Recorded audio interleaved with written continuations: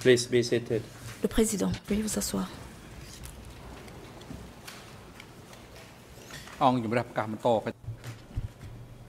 The court is now back in session. Reprise de l'audience. The chamber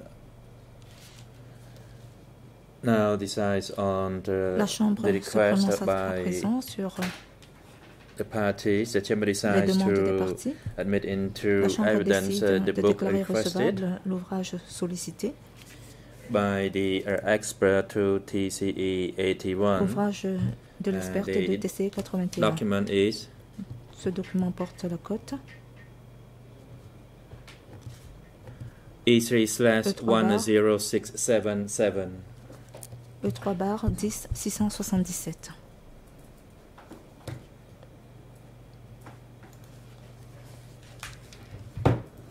The chamber also admits the La two Chambre uh, pages Déclare également uh, recevable request by les the deux defense team for Kiev Sampon sollicité par l'équipe de défense de Kyosampan. and the year number for the document is Ce document portera la cote. that is the uh, page for the year number is 013308472448 Il s'agit d'un document and the 0133 document 08 is uh, 47 à designated 48 as E3 slash 10676. qui portera donc la cote E3 bar 10 676. Regarding another request, En ce qui the concerne chamber will issue its decision in due course. l'autre demande, la Chambre rendra sa décision en temps utile. And uh, court officer, please invite the expert to. TCE 81 de TCE 81 dans le into the prétoire.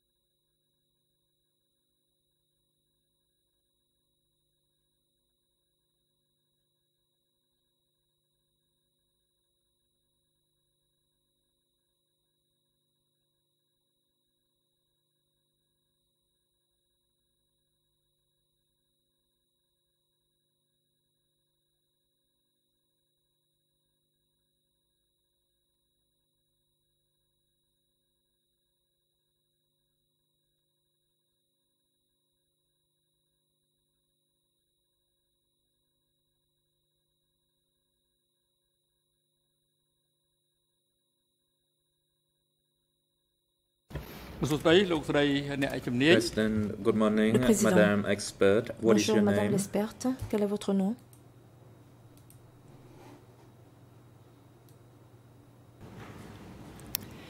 My full name is Peggy Levine. Mon nom complet est Peggy Levine.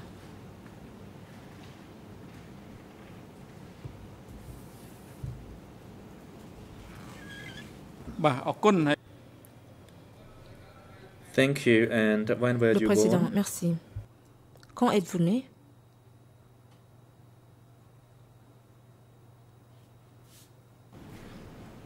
I was born on the Réponse. 21st of January 1952.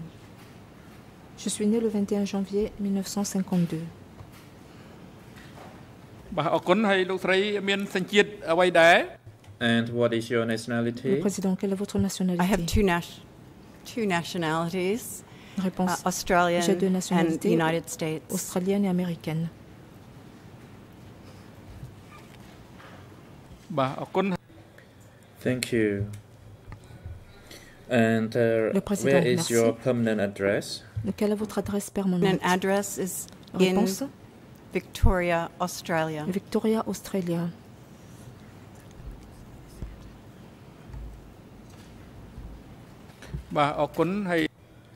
Thank you. And uh, what is your current occupation? Question, merci. Quelle est votre profession à l'heure actuelle?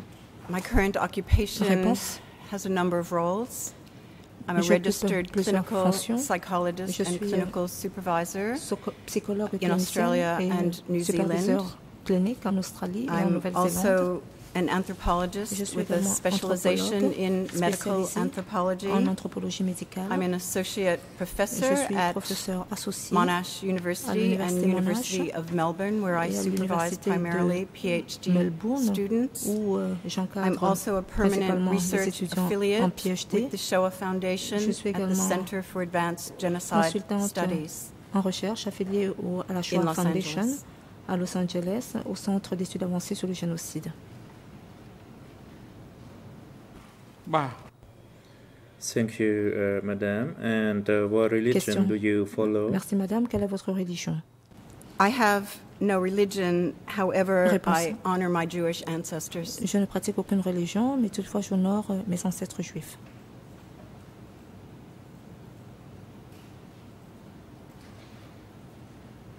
Bah, Thank you. Le président, The merci. greffier made an oral report this morning Le that to greffier, your euh, best knowledge, ce matin you are not a fait un related by rapport blood oral or en by law disant to que any vous of the n'avez two aucun lien accused de parenté, ni par le sang, ni par or alliance, through avec any l'une of the quelconque, civil parties. Is that avec uh, l'un quelconque correct? des accusés ou l'une quelconque des are parties you related civiles. or not to any of the two accused or through Est-ce any exact? of the civil parties in this case? N'avez-vous aucun lien I am not quelconque related avec euh, les accusés ou la partie civile en l'espèce? Réponse non. Je n'ai aucun lien avec eux. Bah, Thank you. Le président, merci. And, uh, Pursuant to 9, 31 2 of the ECCC internal rules, in your capacity as an expert to testify before this chamber, you are required to take an oath to make an affirmation according to your religion before your testimony. Et ce avant votre déposition. Êtes-vous d'accord? Êtes-vous prête à le faire? La réponse oui. Je le suis. And uh, greffier, Le président. Madeleine, Madeleine, please proceed Madame with the uh, Magdalene, process of taking an oath for the expert. à You may l'experte. proceed. vous avez la parole.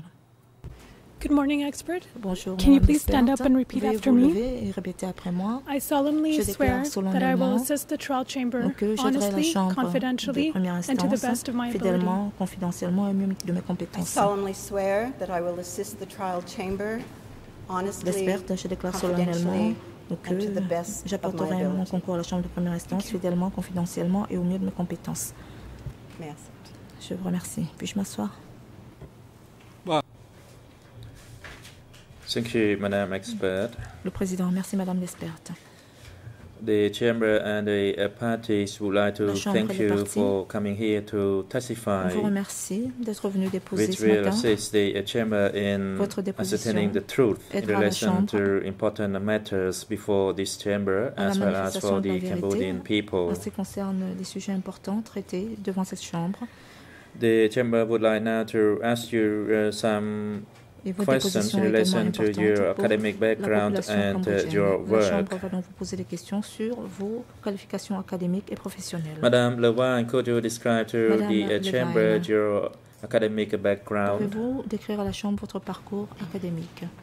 With regard to my Réponse. En education, ce qui concerne I have a Bachelor of Science in Sociology that I received from Virginia Tech University in 1974. I have a Master's of Psychology degree that I received in 74.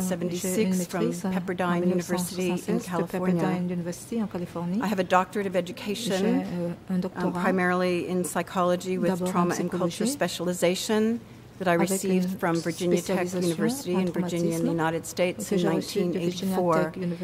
And then I have a doctorate of philosophy in medical anthropology that I received from Monash University in 2007.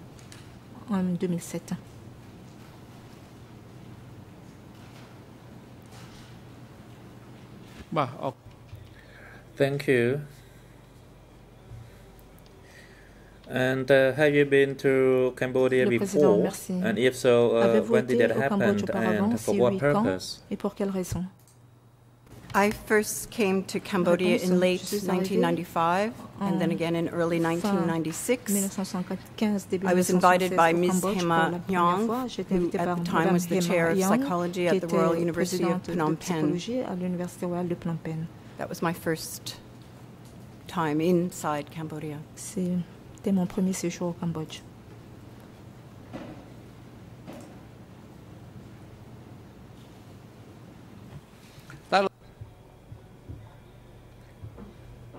Did you uh, stayed and uh, worked in uh, Question. Cambodia? And if so, uh, when and how long did you stay? Cambodge? Si oui, quand? Pardon, I didn't temps? get the beginning of your question? Réponse. Je n'ai pas suivi le début de votre question, Monsieur le Président. You were uh, invited uh, to Cambodia. Vous avez été invité au Cambodge. In relation to a university, and the chairman would like to ask whether you came to work in Cambodia for a certain period of time. And if so, uh, how long did you si work oui. in Cambodia and uh, the purpose of the work? My, my, initial time in Cambodia was um, short. Mon séjour au I don't have my passport history with me. I believe I was here for two weeks in that first instance. I came specifically to learn what was happening at the Je crois que je university. suis restée pendant deux I would like to say, as background, um, Ms. savoir ce qui se Hema had come to. Australia on an AusAid scholarship. She was a student of mine in one of my classes that I taught in Australie. C'était l'une de cross-cultural psychology. She was trying to bring cross-cultural psychology practices into Cambodia. And so my reason for initially coming to Cambodia was to have discussions with her and her séjour au Cambodge, c'était faculty and to meet her students and to talk to her about the future development of her program. du développement à venir de son programme. ។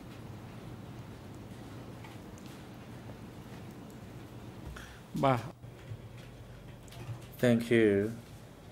So far, have you done some studies on research merci. in relation to Cambodia, études in particular in relation to the uh, regime of sur Democratic Cambodge, Cambodia? notamment sur le Cambodge Yes, that research I stumbled into, I would say, as a result of my tombée sur cette association with colleagues Étude, um, inside Cambodia. But my rapport à mon first, association avec des collègues au my, my first personal inquiry into Cambodia principale and Democratic personnelle Kampuchea and things that happened during that démocratique. time was in ainsi que les faits 1980. I was working at a mental health center in Arlington, Virginia, near Washington, D.C. As a clinician, and at that time, mentale en tant que my clients were refugees coming into the United States. qui arrivaient aux And it was through my association with my clients that I started to read about, association avec mes clients ponder about things that happened in Cambodia, and it was the first time I Cambodge et à y started hearing about weddings. fois que je commençais à entendre parler de mariage. I did not start my formal research until after I came to Cambodia. In 1997 is when I started my formal investigation 1977 lorsque je into suis this. arrivée au Cambodge. C'est à ce project. moment-là que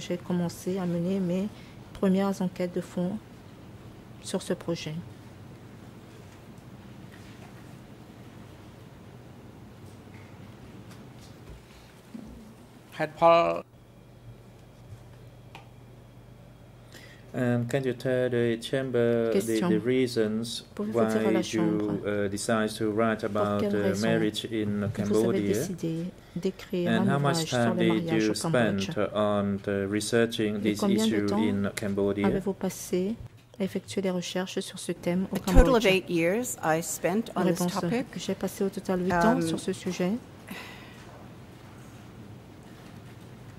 So difficult to decide where to start. I'm going to start with my commencer. association at the Royal University of Phnom Penh because that's when I royale de Phnom Penh. that's when the seeds were planted for me to begin euh, doing this research. été plantée.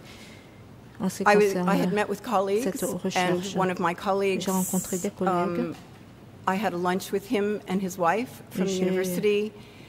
And they were quite affectionate with each other and quite kind to each other. And in that lunch, I asked them de, de l'autre, how they met. And euh, they told me that they met um, during the Khmer Rouge demandé comment ils period se sont rencontrés. and that they were married in that time. sous les Khmer And I'm the one that used the word forced. I said, oh, you were married in the forced weddings. Et j'ai travaillé And the, the euh, couple said, no, our je leur ai weddings weren't forced. And that really confounded me because up until that moment, Ils m'ont dit everything I had read about the oui, weddings leur mariage été forcé. had led me to believe that they were forced.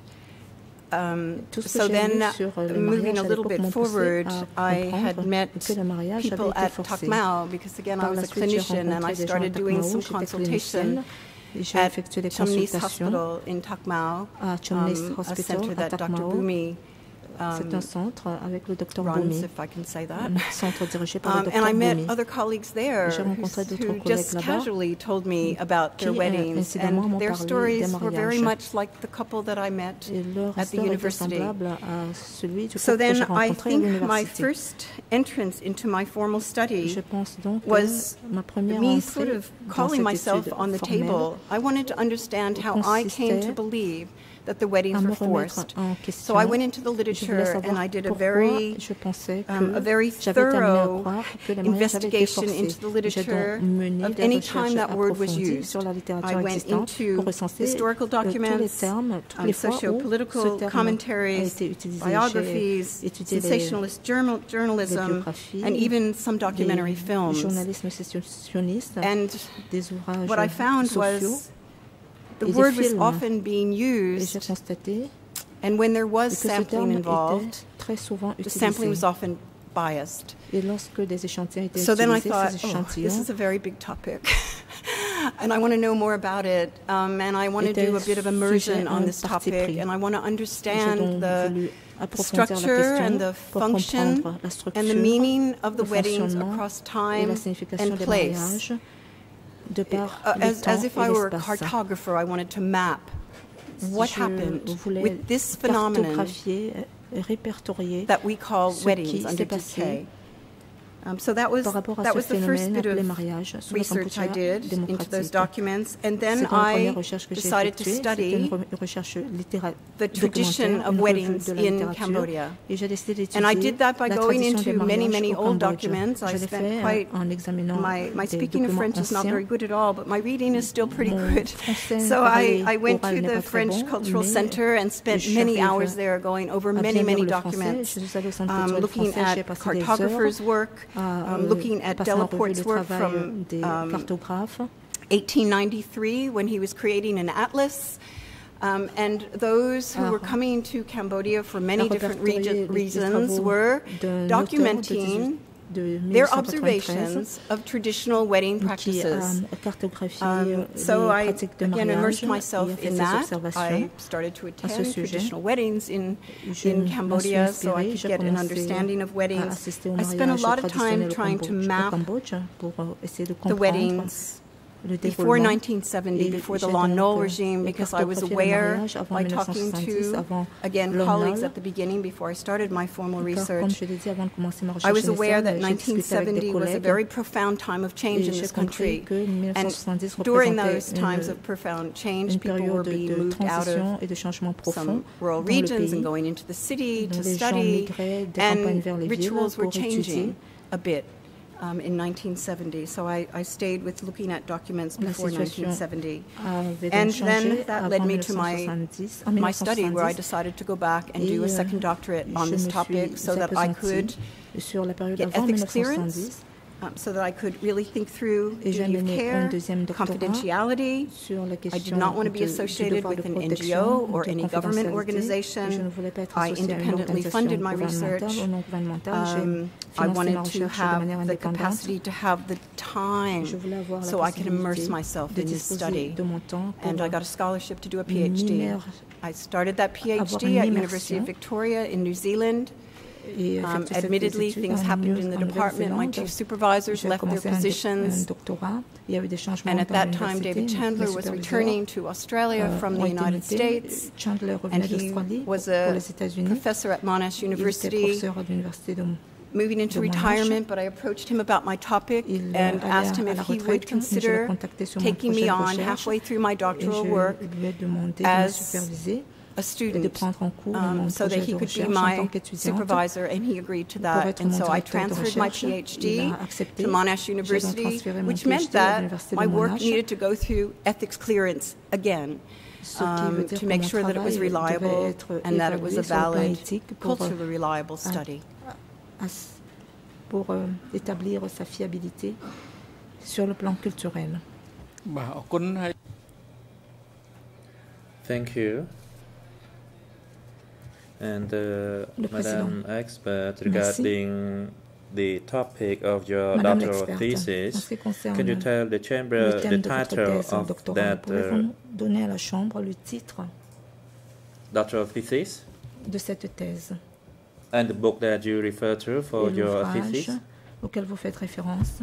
Pour votre thèse Uh, the title of my PhD study is A Contextual Study into the Weddings and Births under the Khmer into the Wedding Rouge, and Births under the colon, Rouge, The Ritual Revolution. The Ritual Revolution. Um, admittedly, as a result of immersing myself in the research in weddings and traveling with people to locations where they were wed.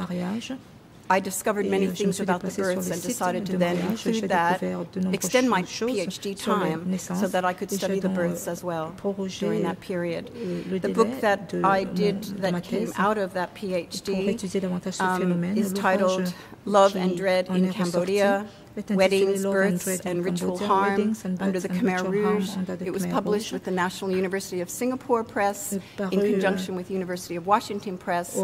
I deliberately chose a university press that had Singapore, an the independent international review uh, process euh, of my work before it could be considered for publication. Uh, la- les presses de New York pour avoir une évaluation universitaire indépendante avant sa parution បាទអរគុណហើយ publique.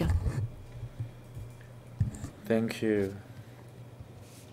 And in your uh, thesis, that is your doctoral thesis, président. in relation Merci. to a Dans wedding votre and thèse births doctorale under sur les the Khmer naissances Rouge et les regime, mas- et les mariages can you tell the sous le chamber régime whether Khmer you Rouge? received any Pouvez-vous support dire à from la any Chambre organization si vous or avez any obtenu individual?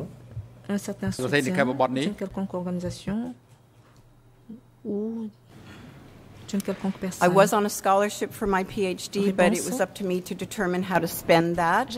I lived on that scholarship mais c'était à um, and used that scholarship money to do my own research. I do have a clinical private cet argent pour practice. At times, I would use my own clinical private practice funding to fund my time in fonds de cette Japan. I mean, sorry, my time in le temps que j'ai Cambodia. During that time that I was doing my research, I did um, take on a position for a little less than two years as a full professor in un peu moins de Japan, deux ans en tant que um, where I part entière au um, taught a number of things. un certain nombre de Um, and during that time when I was in Japan, I applied for grant money for travel, and I did receive grant money to allow me to travel to Cambodia. de voyager au Cambodge. That's the scope of the funding that I had received l'étendue for des that study. financements que j'ai reçus pour cette étude.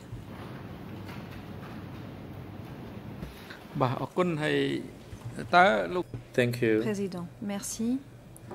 And can you also tell the chamber the sources that you refer to for writing your doctoral thesis? sources sur lesquelles And vous also vous please tell the chamber how many people and who they Pourriez-vous dire à were that you Chambre made uh, for the purpose of writing your thesis?